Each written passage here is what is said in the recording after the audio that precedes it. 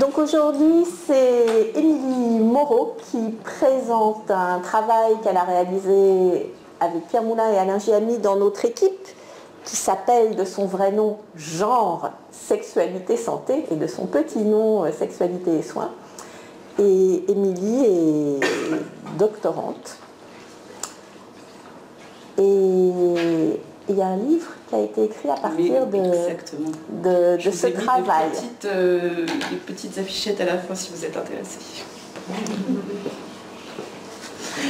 Bonjour, merci beaucoup d'être là aujourd'hui pour écouter cette présentation, peut-être un peu originale dans le cadre euh, de ces séminaires du CESP.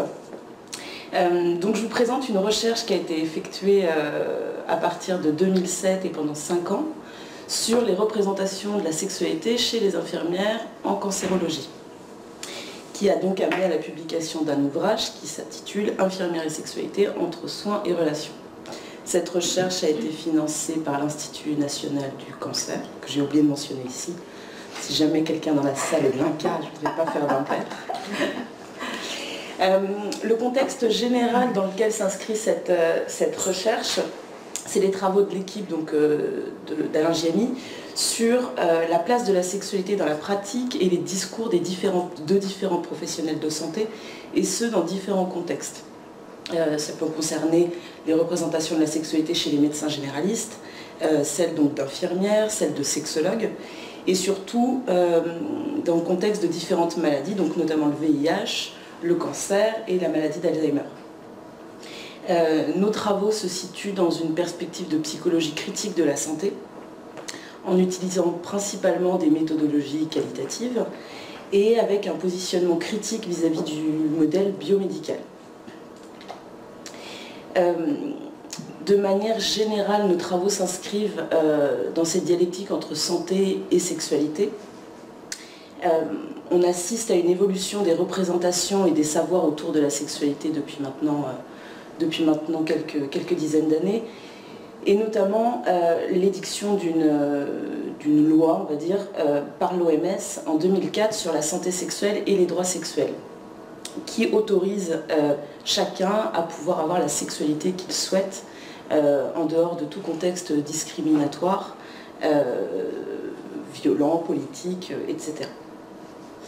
Parallèlement à ça, on assiste à une prise en charge accrue des fonctions et dysfonctions sexuelles avec le développement de la médecine sexuelle et notamment de la médicalisation de la sexualité.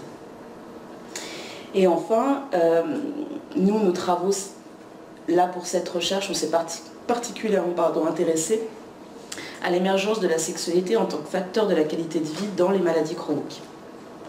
L'idée, c'est de prendre en charge de plus en plus euh, de façon globale et holistique euh, les patients atteints de maladies chroniques. Et dans ce cadre-là, la sexualité est en passe de devenir l'un de ces facteurs. Et ça revient à cette problématique de l'idée que la sexualité est en train de devenir un objet de santé comme un autre.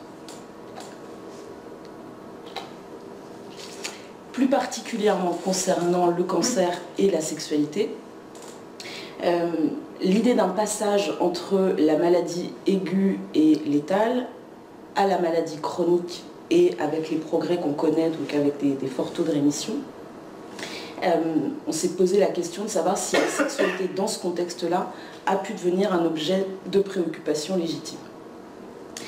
L'enquête euh, La vie deux ans après le cancer, donc il y a eu deux éditions, celle en 2008 et celle en 2014, a montré que l'atteinte portée à la sexualité concernait 75% des patients actuellement. Euh, le pendant de ce, chiffre, c'est euh, l'idée que les patients se plaignent que les professionnels de santé ne leur parlent absolument pas de ces questions-là. Euh, voilà. cela a, a, auguré des travaux, notamment de l'Association française des soins de support en oncologie, sur le cancer et la sexualité, en fait, ils ont essayé de spécifier toutes les atteintes possibles à la sexualité en fonction des différents cancers et en fonction des différents traitements. Et de proposer des informations adéquates en fonction du parcours de soins. Euh, donc comme je vous disais tout à l'heure, cette prise en charge de la sexualité, on se retrouve avec un paradoxe fort entre une grande proportion des patients à déclarer des troubles sexuels suite au cancer et à ses traitements, mais à une très faible prise en charge de ces questions et une forte plainte des patients à ce que ces questions ne soient jamais abordées. Nous, ce qui nous a intéressé, c'est de se dire qu'il n'y avait absolument pour l'instant pas d'éléments liés à la prise en charge de la sexualité lors des formations initiales, et ça ne concerne pas que les infirmières, ça concerne aussi les médecins.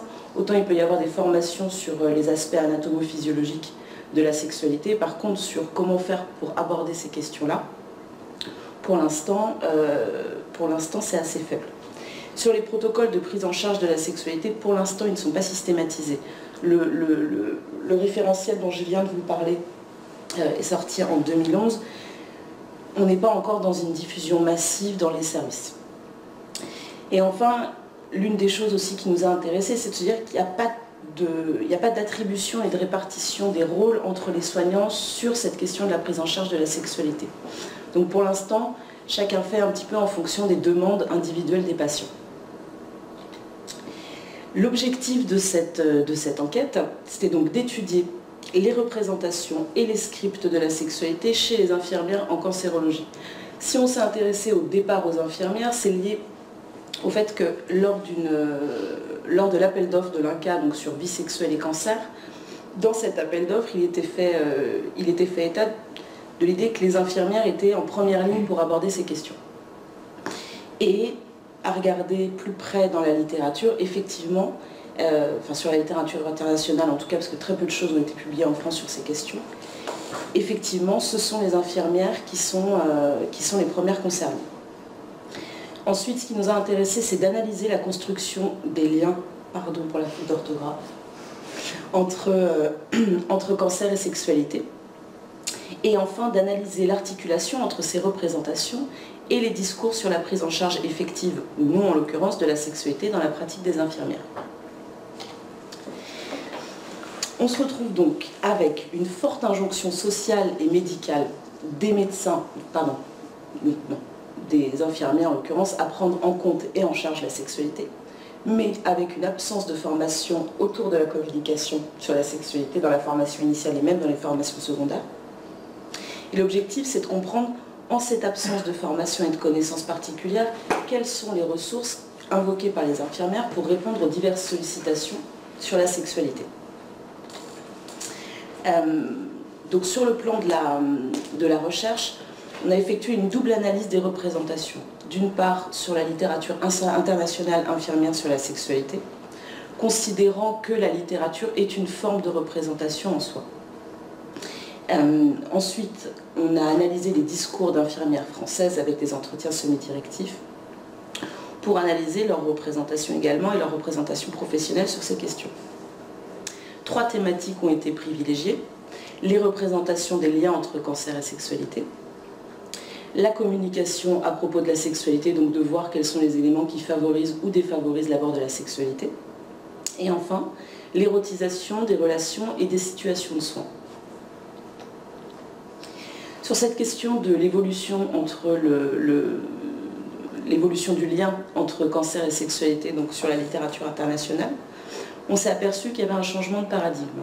C'est-à-dire qu'on est passé de la sexualité comme cause de l'apparition, comme l'une des causes tout du moins, de l'apparition du cancer, avec des théories psychogénétiques et sexogénétiques sur l'apparition du cancer, notamment l'idée que euh, si certains hommes n'avaient pas assez de rapports sexuels euh, ou avaient des rapports sexuels trop tardifs dans leur vie, cela pouvait augurer l'apparition de cancer de la prostate.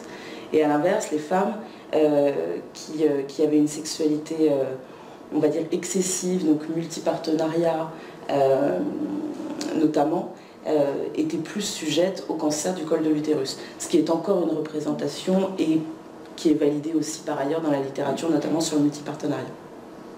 Et on est passé au cancer et à ses conséquences sur la sexualité. Donc comme je le disais tout à l'heure, la sexualité est désormais considérée comme une composante inhérente à la qualité de vie.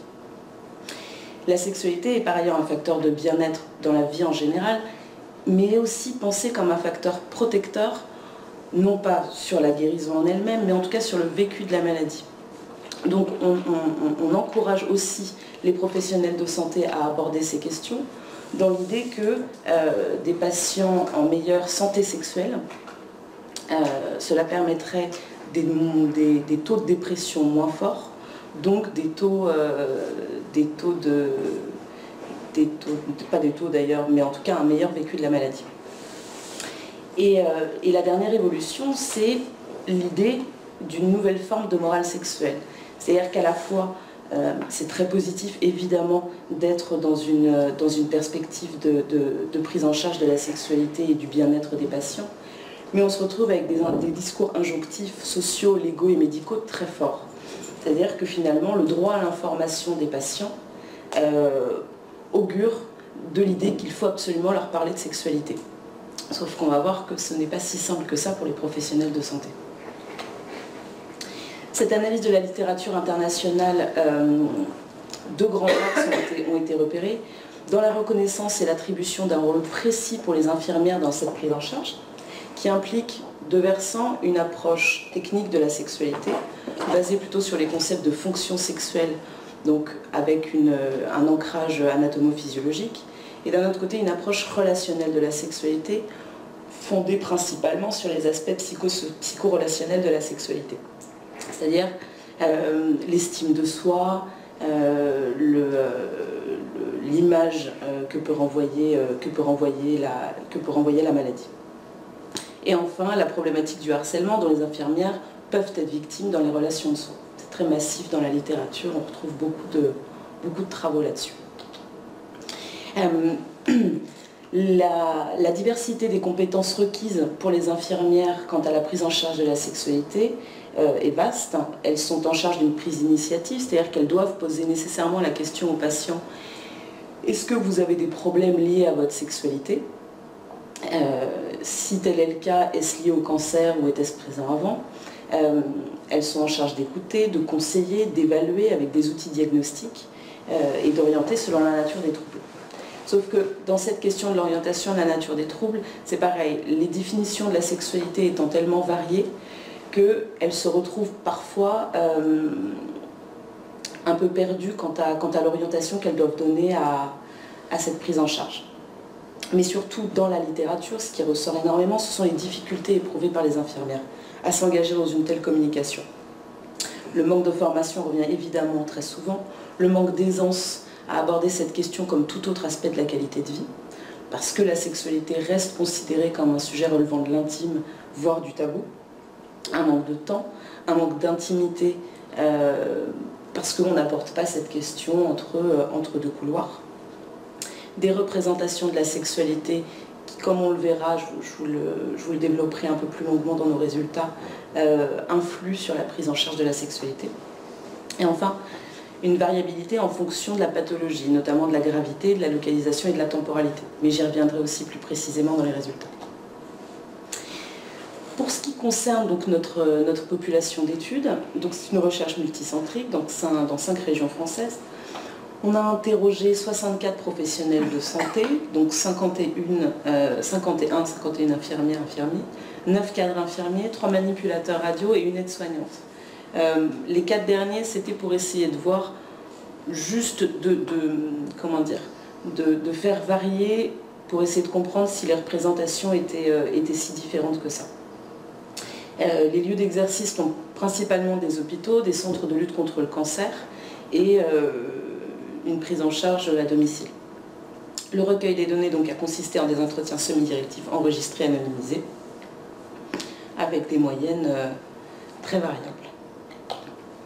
La méthodologie utilisée pour cette enquête, on a essayé de faire une triangulation à la fois méthodologique et à la fois théorique, en utilisant donc un logiciel d'analyse de contenu thématique euh, qui s'appelle NVivo, où en fait on rentre euh, un arbre thématique dans ce, logiciel et après c'est à nous de faire nos, propres analyses. Mais il est très utile et, euh, et, très pratique à utiliser pour ce type d'analyse.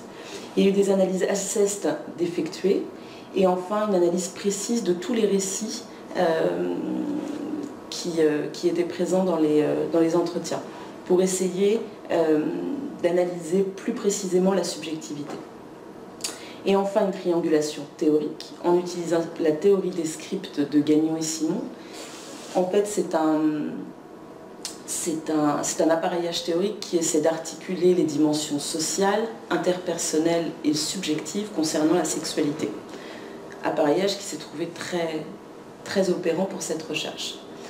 On a aussi utilisé les apports de la psychodynamique du travail, notamment sur le travail du CARE de Pascal Moulinier.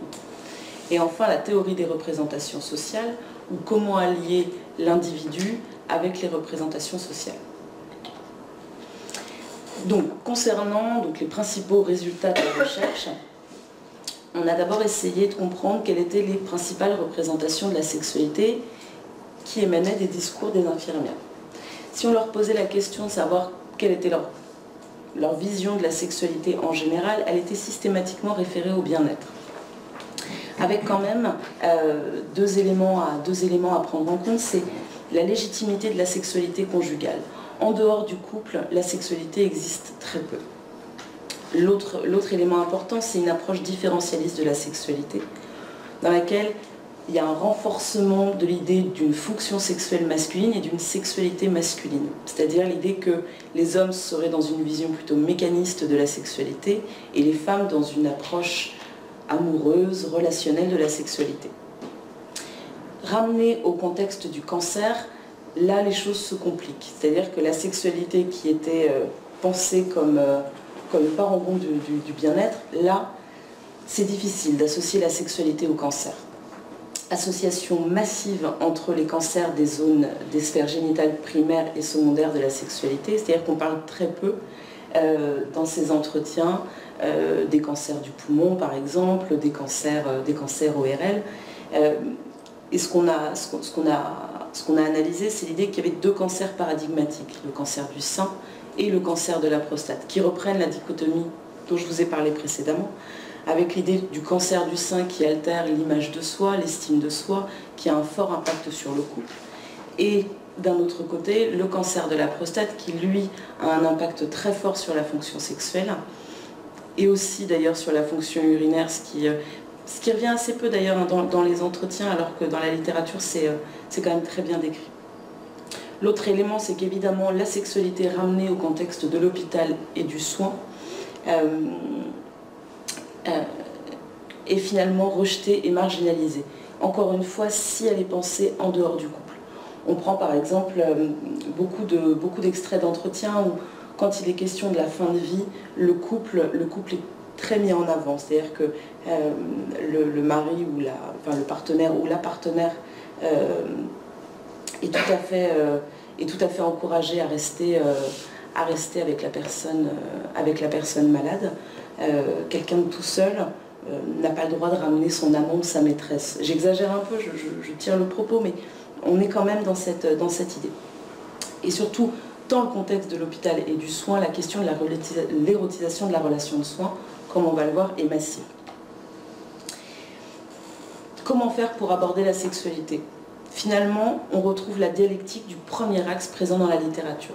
C'est-à-dire avec d'un côté, certaines infirmières sont plus à l'aise avec l'aspect technique de la sexualité, donc avec un counseling assez, euh, assez light hein, en soi. C'est-à-dire que c'est l'explication des effets secondaires, notamment le fait de la perte, des poils, euh, les sécheresses vaginales augurées par, euh, par la chimiothérapie, ce genre de choses. Euh, et des propositions de traitement, par exemple voilà, des crèmes ou des choses comme ça. Elle dépasse rarement ce cadre-là. Certaines quand même s'autorisent, par exemple, quand je me rappelle d'une infirmière qui disait que elle se retrouve face à des patients euh, en, difficulté et elle leur a proposé euh, des choses différentes, surtout des choses différentes par rapport à la pénétration vaginale, parce que la question elle est bien là. C'est-à-dire que pour beaucoup de gens, euh, sexualité est synonyme de pénétration. Or, quand la pénétration est empêchée, la sexualité s'arrête. Donc cette infirmière qui racontait qu'elle elle avait, proposé des, jeux érotiques, elle avait proposé des, des, vidéos porno, et elle se posait vraiment la question de sa légitimité à pouvoir le faire. Se dire, est-ce que là je ne suis pas en train de dépasser le cadre de ma fonction? Est-ce que, est-ce que j'ai le droit de faire ça? Cette question du droit de faire revient également très régulièrement dans les entretiens. Concernant l'aspect relationnel, là, effectivement, elles sont beaucoup plus à l'aise, notamment dans une écoute proactive des patients. celles qui, celles qui, sont plus à l'aise avec les techniques de relation d'aide, effectivement, même si elles n'ont pas de formation spécifique sur la sexualité, vont être quand même beaucoup plus à l'aise pour aborder ces questions. Et enfin, l'abord de la relation de couple qui revient très régulièrement, où là, elles se sentent à l'aise euh, dans l'idée de discuter de, des, problèmes que peut augurer le cancer euh, dans le couple. Ensuite, ce qu'on a essayé de faire, c'est d'analyser les éléments qui modulent l'abord de cette sexualité. Avec l'idée que pour que les infirmières abordent ces questions, il faut une aisance qui intrigue des éléments professionnels, personnels et relationnels.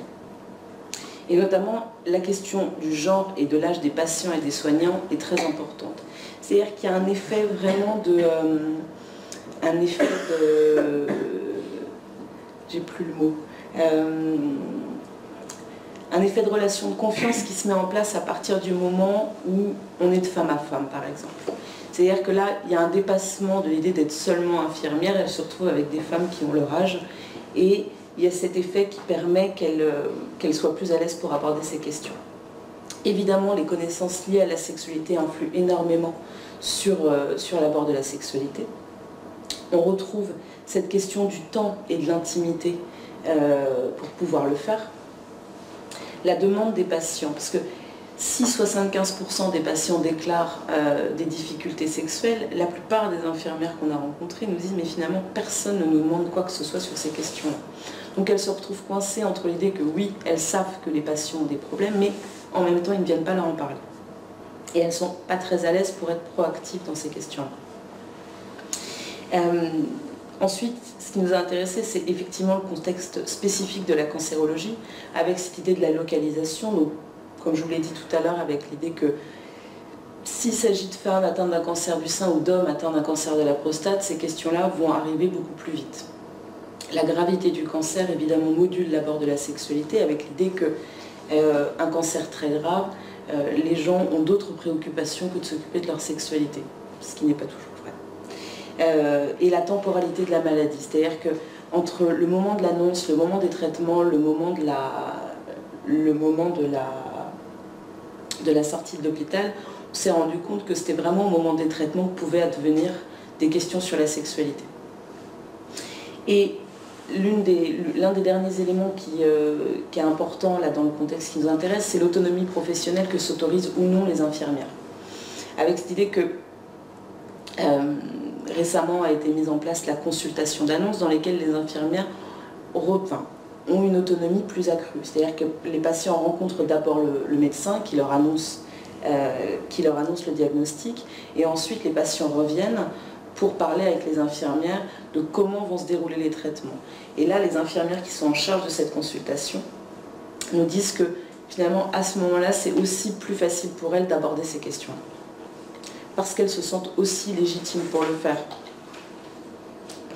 La synthèse donc, de, ce premier élément sur l'abord de la sexualité, c'est l'idée que l'analyse des éléments favorisant et défavorisant l'abord de la sexualité fait émerger, d'une part, l'importance de l'aspect relationnel dans l'abord de la sexualité, et ce, principalement modulé par le genre pour aborder ces questions, qui aurait tendance à être favorisant pour les femmes et défavorisant pour les hommes. Mais on va le voir, c'est aussi lié à cette question de la peur de l'érotisation de la relation de soi.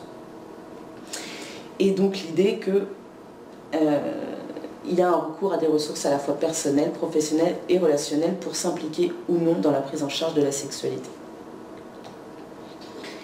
Sur cette question de la situation des, sur la question des situations d'érotisation de soins, en fait, elle renvoie à plusieurs dimensions.